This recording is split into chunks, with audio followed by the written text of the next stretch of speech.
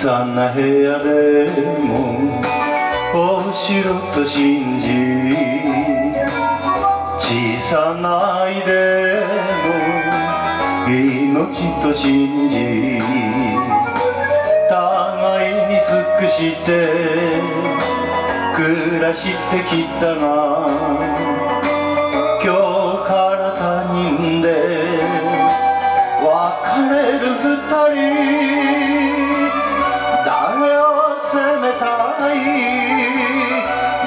と泣いたいたった二年と二ヶ月で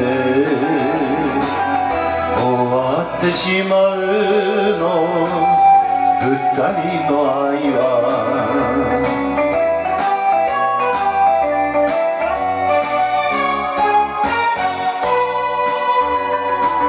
憎しみ合って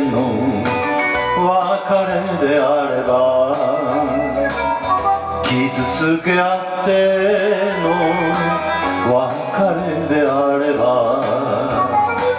互いの明日を思った末にこうした別れを選んだ二人何が間違いなの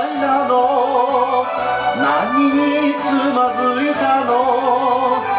たった2年と2ヶ月で。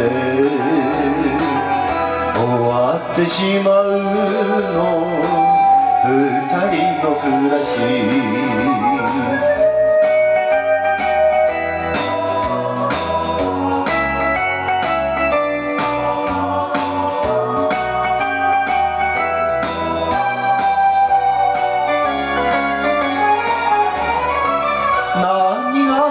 違いなの。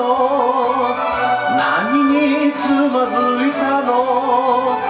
たった2年と2ヶ月で。終わってしまうの。